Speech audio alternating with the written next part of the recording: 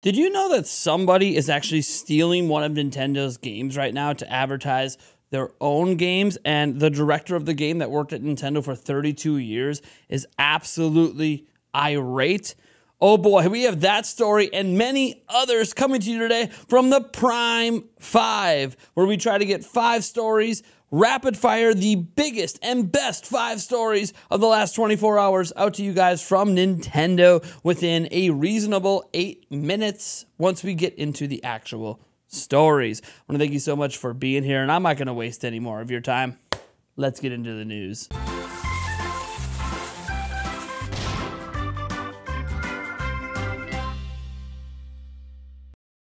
You are watching Nintendo Prime, and at this channel on Monday through Friday, we drop five videos going over the five latest stories in the last 24 hours revolving around Nintendo, the biggest of those stories. We also, on the weekends, end up dropping other types of content, including unboxings and Prime Answers episode that goes out every single Saturday, where we answer all of your questions. If you enjoy Nintendo news and you want to get the latest updates, all you need to do is subscribe to Nintendo Prime.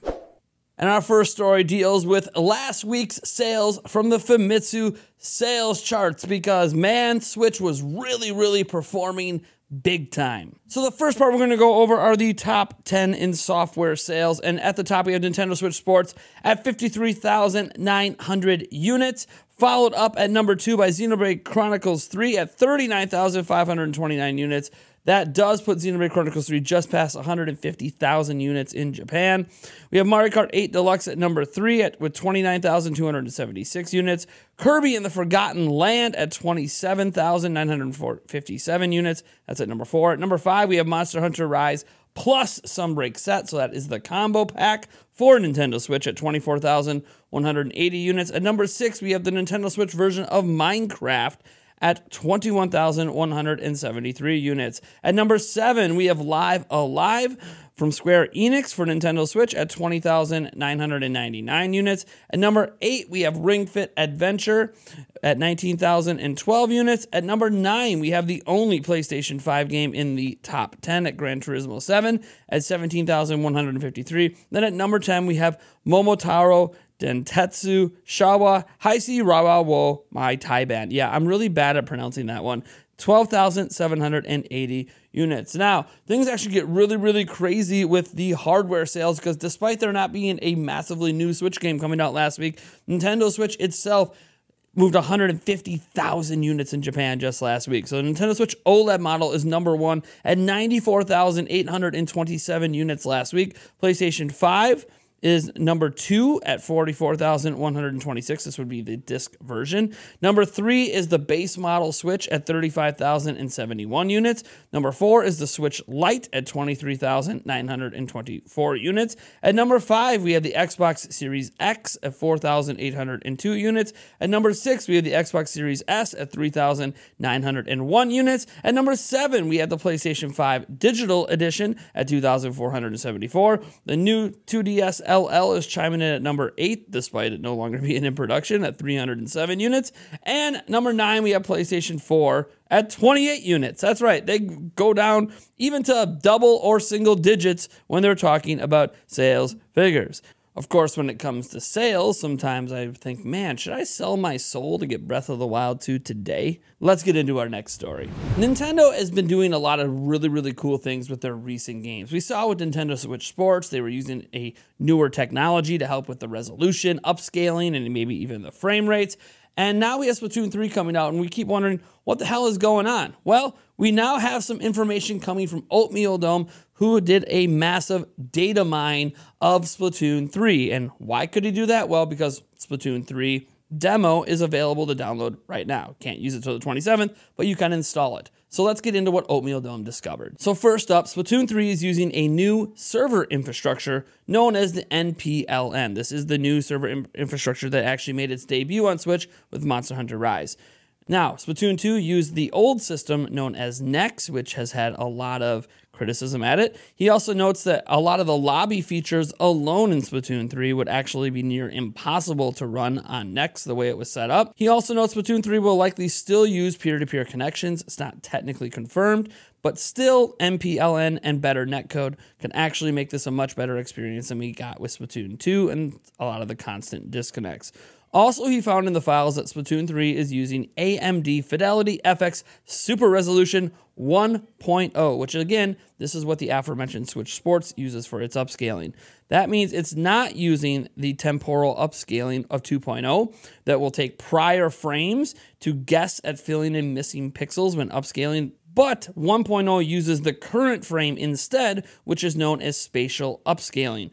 2.0's way is actually a better way of going about it, but 1.0, as we saw in Switch Sports, is still better than not doing anything at all. Splatoon 3 does look pretty crisp compared to Splatoon 2, and a lot of that is going to be from using this new technology. Naturally, this is really cool to have new tech applied to future Nintendo games, obviously keeping Nintendo Switch relevant for even longer.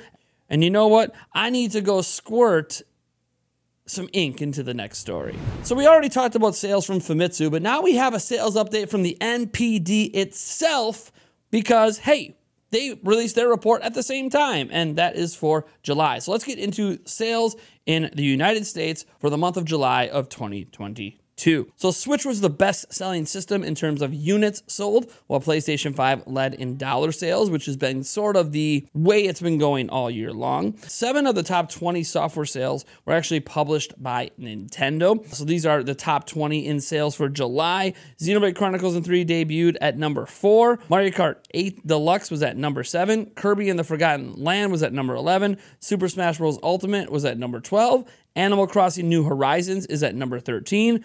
Pokemon Legends Arceus is at number 15. Nintendo Switch Sports is at number 16. And notably, Monster Hunter Rise, that is console exclusive on Switch but also on PC, was at number 20. Now, what we have to remember, of course, is that none of these sales include digital sales.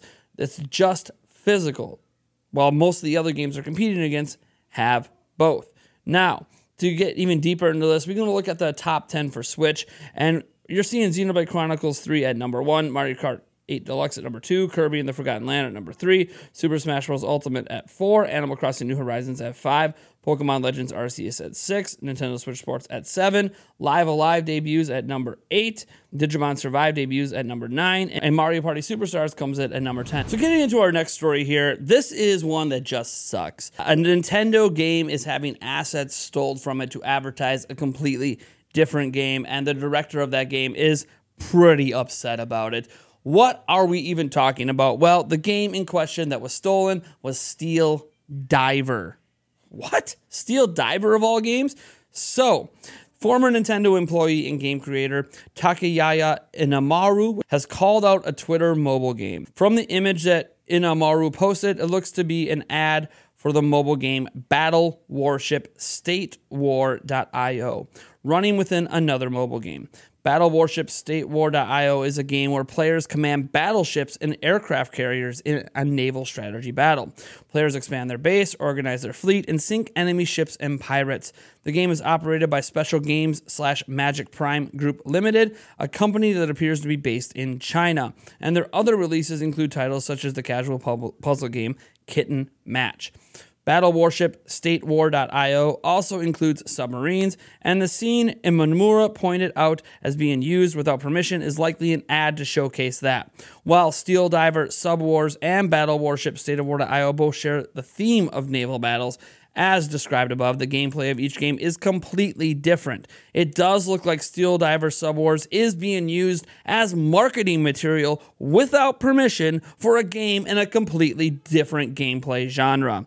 Notably, the game doesn't play anything like Steel Diver, but the app is using Steel Diver footage as an advertisement for their game. While Imamura no longer works at Nintendo, he was employed there for 32 years and is such an industry veteran that he is well respected and has his name in the credits of many titles. He was the director of Steel Diver, by the way, adding more fuel to the flames.